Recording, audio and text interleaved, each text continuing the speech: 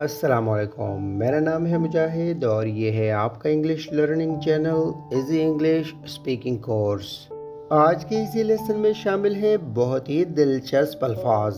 ऐसे अल्फाज जिन्हें दो तरह से प्रोनाउंस किया जाता है। इन अल्फाज को हम दो तरह से क्यों प्रोनाउंस करते हैं, ये हम जानेंगे आज के इजी लेसन में। सो लेट्स गेट स्टार्टेड पहला लफ्ज़ है live L I V E इसे हम लिव प्रोनाउंस करते हैं, जब इसे हम एज अ वर्ब इस्तेमाल करते हैं। लिव की मीनिंग है रहना। मसलन वेयर डू यू लिव तुम कहाँ रहते हो? वेयर डू यू लिव इसी लफ्ज़ को जब हम एज एन एजेक्टिव इस्तेमाल करते हैं तो इसे हम लाइव प्रोनाउंस करते हैं लाइव लाइव की दो मीनिंग है। पहली मीनिंग है बराह रास्त, जैसे लाइव क्रिकेट मैच। बराह रास्त दिखाए जाने वाला क्रिकेट मैच। दूसरी मीनिंग है ज़िंदा, जैसे he was holding a live snake in his hand उसने हाथ में ज़िंदा सांप पकड़ा हुआ था। He was holding a live snake in his hand दूसरा लफ्ज है प्रेजेंट प्रेजेंट प्रेजेंट की मीनिंग है हाजिर या मौजूद। जैसे I was present in the meeting मैं मीटिंग में मौजूद था। I was present in the meeting present की दूसरी मीनिंग है तोहफा। जैसे he gave me a present on my birthday उसने मेरी बर्थडे पर मुझे तोहफा दिया। इसी लफ्ज़ को हम प्रेजेंट प्रोनाउंस करते हैं प्रेजेंट जब इसे हम एज अ वर्ब इस्तेमाल करते हैं प्रेजेंट की मीनिंग है पेश करना या देना. The chief guest presented the winner with a gold medal मेहमान खसूसी ने जीतने वाले को गोल्ड मेडल पेश किया. He presented the report to the principal उसने प्रिंसिपल को रिपोर्ट पेश की.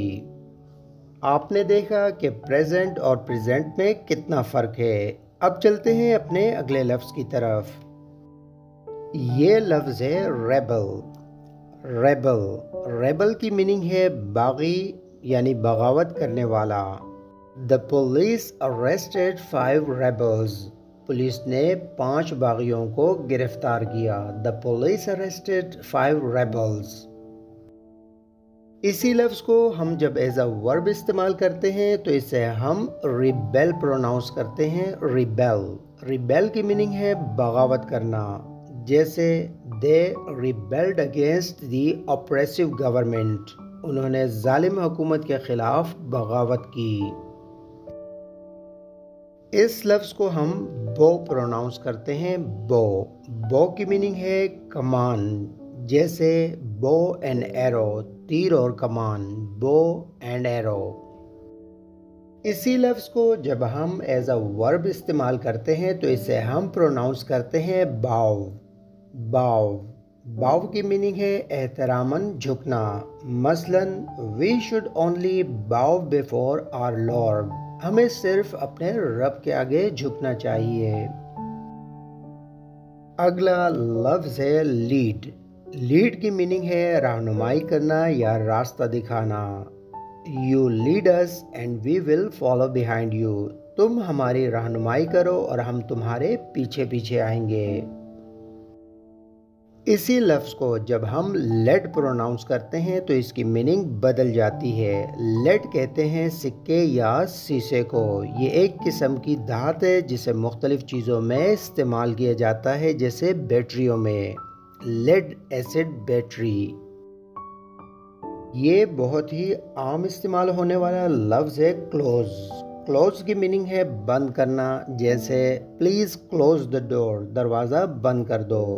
इसी लफ्ज़ को हम क्लोज प्रोनाउंस करते हैं सीन की आवाज़ के साथ, जब हम इसे करीब या नज़दीक के मानों में इस्तेमाल करते हैं। मसलन my school is very close to my house मेरा स्कूल मेरे घर के बहुत करीब है. My school is very close to my house he is my close friend वो मेरा बहुत ही अच्छा या करीबी दोस्त है. He is my close friend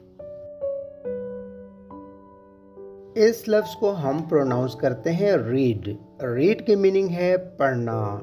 जैसे I read this book every day मैं ये किताब हर रोज़ पढ़ता हूँ। वर्ब रीड की सेकेंड और थर्ड फॉर्म को इसी तरह लिखा जाता है, लेकिन इसे प्रोनाउंस रेड किया जाता है रेड जैसे have you read today's newspaper क्या तुमने आज का अखबार पढ़ा है? Have you read today's newspaper I read this book long time ago ये किताब मैंने बहुत अरसा पहले पढ़ी थी। अगला लफ्ज़ है मिनट जैसे please wait for five minutes बर मेहरबानी, पाँच मिनट इंतज़ार करें। Please wait for five minutes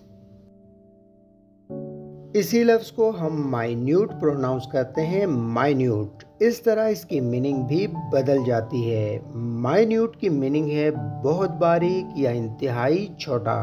मसलन this app can detect minute mistakes ये ऐप छोटी से छोटी या बारीक से बारीक गलती का पता लगा सकती है। This app can detect minute mistakes minute particles बारीक या छोटे छोटे जर्रात।